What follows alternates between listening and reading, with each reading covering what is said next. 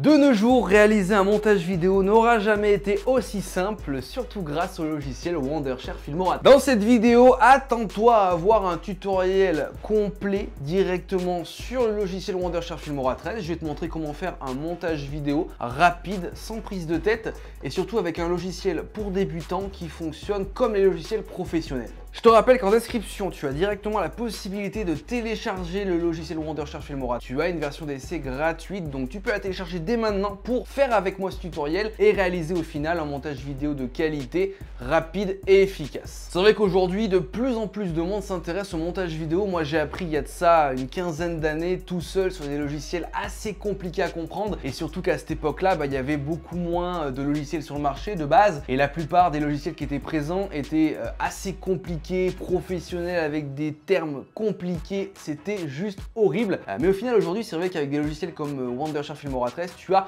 le moyen, même si tu connais absolument rien, de directement mettre un pied dans le domaine du montage vidéo euh, pour ensuite pouvoir créer tes propres vidéos, tes propres montages. Et je t'avoue que quand tu termines ton premier montage et qu'il te plaît, c'est une très grande satisfaction. Donc c'est parti, je vais directement vous montrer ça sur le logiciel. J'espère que ce tutoriel vous plaira. J'essaie d'être le plus complet possible pour que vous ayez le plus d'informations et que vous puissiez au final de vous-même faire votre propre montage vidéo. Donc on va directement commencer par ouvrir un nouveau projet pour euh, directement avoir accès au logiciel. Donc voilà l'interface principale. Je vais y importer euh, alors les fichiers dont je vais avoir besoin dans cette vidéo pour vous montrer un peu comment ça fonctionne et surtout comment faire un montage. Donc par exemple j'ai ces deux rushs là, hop, qui est un rush plan et un rush normal. Je vais rapidement vous présenter l'interface du logiciel pour les personnes qui le découvriraient. Pour ceux qui le connaissent déjà, vous pouvez directement aller à ce timecode. Comme ça, au moins, vous pourrez directement commencer le montage avec moi. Donc, pour ceux qui ne connaîtriez pas ce logiciel-là, qui est vraiment très très simple à, comprendre, en fait, vous avez sur la gauche, euh, juste ici, euh, un grand encart avec pas mal de choses. Donc, notamment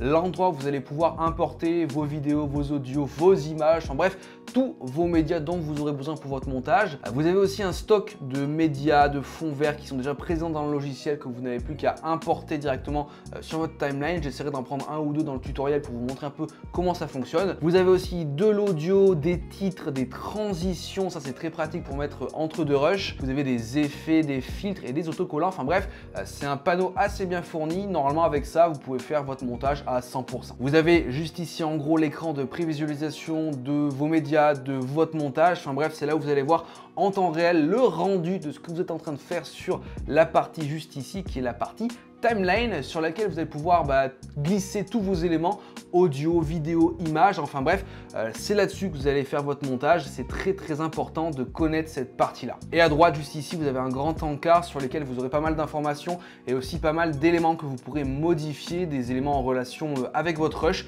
Donc que ce soit par exemple la colorimétrie, que ce soit la modification d'un effet présent sur le rush. Vous allez voir que c'est un encart assez important euh, qu'on utilise beaucoup. Donc c'est parti, commençons ce tutoriel sur le logiciel Wondershare Filmora 13, comment faire un montage rapide, professionnel et sans prise de tête. Donc comme je t'ai dit, j'ai importé moi deux médias. Donc là, il y a un rush juste ici de environ 7-8 minutes qu'on va directement glisser sur notre timeline.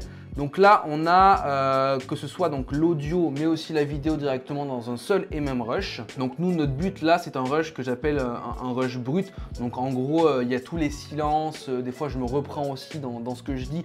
donc forcément, là, il faut cutter. Donc pour cutter un rush, donc pour faire du dérushage, c'est-à-dire enlever tout ce qu'on ne veut pas, les silences, les moments où on se trompe, où on hésite. Plusieurs solutions existent. Donc je vais vous présenter les deux solutions, même si moi, en général, maintenant, j'utilise la solution la plus rapide et efficace parce que quand monteur vidéo, t'as pas forcément des fois beaucoup de temps de pinailler sur des choses. Donc la fonction la plus, euh, la plus utilisée, la plus simple, c'est la fonction cut. Donc par exemple, tu te mets directement un moment que tu veux enlever. D'ailleurs les amis, petit bonus. Donc là par exemple, moi je veux cutter euh, directement à ce niveau-là. Donc là, hop, on a juste ici l'outil ciseau qui est l'outil cut. On peut faire aussi la, le raccourci CTRL B, on clique dessus et ça nous divise déjà notre rush en deux. Ça, on supprime, j'en ai plus besoin et la vidéo commence directement les amis, petit ici. Néanmoins, il y a une solution beaucoup plus rapide pour faire du dérochage, c'est euh, la détection de silence. Donc il y a plusieurs méthodes différentes. Donc vous faites clic droit sur votre rush, vous allez dans outils d'édition intelligente. Donc là, il y en a plusieurs. On a tout d'abord la détection de silence qui va en fait détecter tous les silences dans votre vidéo. Donc là, par exemple, quand je parle, je fais des silences et tous ces silences-là vont être cutés directement, machinalement par le logiciel, automatiquement. En gros, ce qui permettra d'avoir une vidéo rapide. On a aussi l'édition basée sur le texte qui va du coup retranscrire votre vidéo en texte et dans un petit panneau, dans un petit encart, vous pourrez supprimer euh, manuellement bah, le texte qui vous intéresse pas et ça le supprimera directement dans la vidéo. Moi pour l'instant, on va juste faire la détection de silence. On fait analyser, ça va détecter tous les silences dans la vidéo. Hop, il y en a détecté quand même pas mal. Et là, fais terminer et remplacer et hop, ma vidéo est directement cutée. Et par exemple, si je la lis, donc à ce moment-là... Si tu t'intéresses au monde du streaming ou du podcast, je te compte 8 pistes audio. Tu auras un contrôle total. Là, tu vois, c'est quelque chose normalement qu'on peut faire à la main aussi. Hein. Mais là, ça a été fait rapidement par le logiciel. Maintenant, ce qu'on va pouvoir faire, c'est enlever tous les moments que je ne veux pas garder parce que là, dans ce tournage-là, qui était un tournage pour une sponsor pour un produit, euh, il y a forcément des éléments que je dis qui sont faux ou alors même des reprises que je fais. Euh, donc je vais pouvoir les enlever. Sinon, dans un montage vidéo, le plus long à faire, c'est tout ce qui est cut de base. Donc là, hop, on va reprendre ça et je vais enlever tous les moments que je ne veux pas. D'ailleurs les amis, petit bonus pour compléter ce setup gamer Amazon, la marque Hercule vient tout juste de sortir ce contrôleur audio plug and play simple et efficace. Le Ok. Ça, je le fais en off. Si tu, si tu Hop, là, par exemple, tous ces éléments-là, je le mets pas. On reprend Plug and play simple et efficace. Si tu t'intéresses au monde du streaming ou du podcast. Ok, donc là, moi, je suis bon à ce niveau-là. La vidéo, pour moi, elle est terminée. Enfin, du moins, toute la partie rush vidéo, audio de base est terminée. Donc, à ce rush de base-là, moi, dans mon montage, il faut que j'ajoute des plans vidéo. C'est-à-dire des moments, euh, bah, quand je parle, je vais illustrer ça par un plan. Donc j'ai ce deuxième élément là, ce deuxième média là, qui est un média plan. Et je vais du coup prendre dans ce média là quelques éléments. Donc euh, des éléments que je vais après importer sur ma timeline. Donc là par exemple, je vais démarrer, hop, ici. Ok, là, ça, je vais directement l'importer dans ma timeline et je vais le mettre à ce moment-là. Là, je le mets ici, fais voir. Streaming ou du podcast, je te conseille le Hercule Stream 100 qui te permettra de gérer jusqu'à 8 pistes audio. Tu auras un contrôle total. Voilà, c'est pas mal. Alors, ce qu'il faut faire, par exemple, sur ce moment-là, c'est que on va modifier la couleur. Parce que là comme tu peux le voir c'est un peu fade parce que ma caméra filme en flat euh, donc il faut modifier ça. Donc là directement quand tu cliques sur ton média tu vas à droite dans couleur hop. Donc tu peux faire directement avec des filtres hein, mais moi je préfère le faire manuellement. Donc là par exemple on va mettre un peu plus de saturation un peu plus de vibrance. On va mettre légèrement plus d'exposition on va baisser un peu le contraste et puis je pense qu'on n'est pas trop mal. Ouais on n'est pas trop mal là on va laisser comme ça. Donc un élément qu'on peut rajouter par exemple pour avoir un montage de qualité, c'est une transition, c'est-à-dire de comment on passe de ce rush-là à ce rush-là sans forcément juste avoir un changement de plan bateau. Donc pour ce faire, on peut utiliser une transition. Donc après, euh, bah, tu choisis hein, dans l'onglet transition, tu en, as, en as plein. Donc tu choisis celle qui te plaît le plus. Donc moi, il y a celle-là qui me plaît bien. Hop, fais voir ce que ça donne. Et efficace. Si tu t'intéresses au monde du... Ok, on va l'accélérer un peu parce que je veux que ça apparaisse quasi direct. Si tu t'intéresses, efficace. Si tu t'intéresses. Ok, ce qu'on va juste faire, c'est avancer un peu le rush. Tac, tac, tac. On va l'avancer là, fais voir. Et efficace. Si tu t'intéresses. Voilà, transition bien réalisée. Hop. On va mettre la même transition en sortie de rush, ce qui permettra d'avoir une homogénéité euh, et quelque chose de plutôt cool. Donc on se met directement à la sortie de notre rush. On va avancer un peu la coupure histoire que la transition passe sur le cut. Et moi je mets en général la même parce que du coup ça harmonise un peu la vidéo. Donc là hop, on va voir ce que ça donne directement avec le rush complet simple et efficace. Si tu t'intéresses au Tu vois, le, plan arrive beaucoup de manière je te fluide en fait. le Hercule Stream 100 qui te permettra de gérer jusqu'à 8 pistes audio. Tu auras un contrôle total grâce... Ok, là c'est beaucoup trop, euh, c'est beaucoup trop lent. Hop, hop, hop, on va le mettre comme ça. Je vais fermer un peu le rush, je vais voir ce que ça donne. A 8 pistes audio. Tu auras un contrôle. Là, c'est un peu trop rapide. Fais voir. 8 pistes audio. Tu auras un contrôle total. 8 pistes audio. Tu auras un contrôle total. Ok, là, ça me va, ça me plaît. On est sur une transition plutôt bonne et intéressante. Ça nous permet d'avoir, euh, bah, au lieu d'avoir un changement de plan bateau classique, quelque chose de beaucoup plus smooth en fait. Donc ça c'est plutôt pas mal. Moi ce que je vais rajouter un petit peu c'est ça s'appelle les autocollants. Donc là par exemple bien sûr il y a le classique like comment, ça c'est sûr, on va le mettre à la fin. Hop, donc ça, hop, on va gérer le moment où on le met. Moi, je voulais le mettre vers la fin. À moins de 130 euros et mets un pied dans le monde du streaming avec une petite longueur. Ça sera pas mal. Ce que j'ai envie de faire, pour vous montrer un peu toutes les capacités euh, qu'on peut faire directement avec le logiciel Wondershare Filmora, c'est que ce like comments, je vais le mettre derrière moi. Comment je vais faire Vous allez voir. Donc ça, je vais le remonter d'une piste pour pouvoir du coup prendre celle-là et la dupliquer. Donc là, j'ai dupliqué les pistes. Euh, ce que je vais faire, c'est que l'audio, je vais le couper. Hop, je le mets en sourdine. Comme ça, au moins, j'ai deux pistes vidéo Plus. et j'ai qu'un audio. Alors, ce que je vais faire pour que du coup le like comment apparaisse derrière moi, c'est que je vais du coup couper le fond. Voilà, donc je prends directement mon rush d'en haut, je vais lui couper le fond. Donc pour ce faire, je vais utiliser dans Outils IA la découpe intelligente. Je clique ici et on va maintenant découper le fond. Alors pour ce faire, je prends le curseur, je vais sélectionner tout ce que je veux garder. Hop. Ah oui, c'est déjà pas mal en vrai. Là, il m'a bien déjà, il bien découpé le truc là. On va maintenant zoomer pour du coup bah, faire un peu dans le détail avec la gomme et enlever tout ce qu'on n'a pas envie d'avoir. Et sur la tête, ça là, bon, on va rajouter un peu de lissage des contours. Donc si j'enlève le rush d'en bas, voilà ce que ça donne. Sinon, deuxième outil pour zoomer le fond, vous avez le portrait AI. C'est directement automatique, donc on va activer la découpe intelligente. Je vais enlever le rush d'en bas. Je vais activer ici le portrait AI. Regarde ce que ça donne. Ça m'a été découpé directement. Donc à ce moment-là, c'est là où je vais faire passer mon like comments derrière moi. Donc hop, je mets ça au-dessus.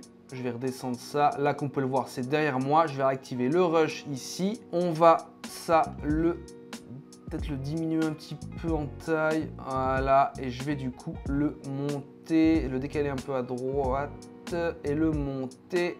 Voilà. Et là, comme on peut le voir, c'est passé directement derrière moi. Alors, Donc là, fonce directement l'acheter. Il est y a disponible pas encore l'élément. À moins de 130 euros. Hop. Et, mets un pied Et là, c'est derrière moi et ça donne un effet un peu plus professionnel, tu vois. Euh, Quand tu fais des éléments un peu comme ça de, de montage, euh, ça rend un peu mieux à la caméra. Euh, Quand ton viewer regarde ça, il voit que tu as fait un peu de l'effort sur, sur le montage. Donc globalement, voilà en termes de vidéo, qu'est-ce qu'on peut faire. Il y a énormément de choses. hein. Après, ça va dépendre le type de montage que vous souhaitez faire, mais il est vrai que voilà, ça c'est un montage simple, basique pour débutants. Il y a du cut, il y a de l'ajout un peu d'éléments vidéo, etc.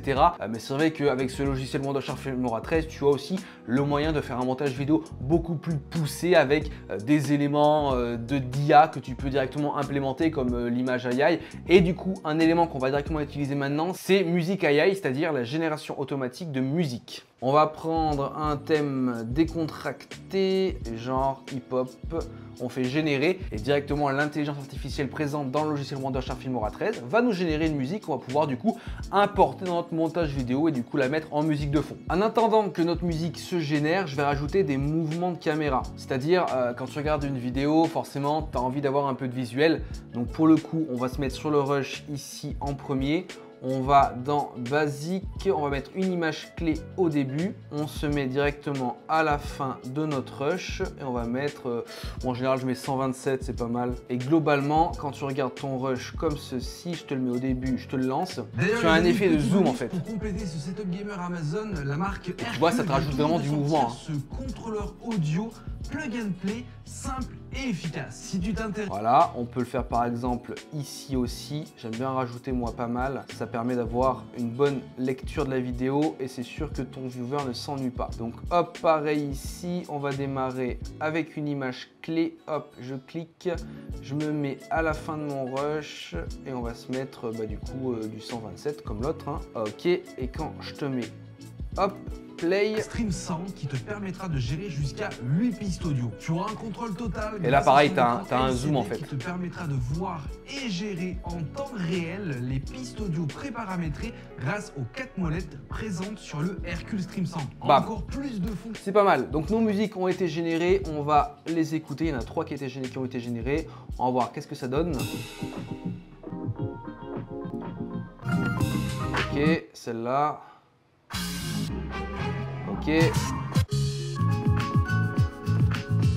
J'aime bien la première. Je la prends, je la glisse sur mon euh, ma, timeline directement pour l'appliquer en dessous. On va après gérer le volume pour euh, bien avoir cette musique-là en fond et pas forcément qu'elle prenne le pas sur ma voix, sur ma parole. Et au niveau de l'audio, on va pouvoir gérer ça directement dans basique volume.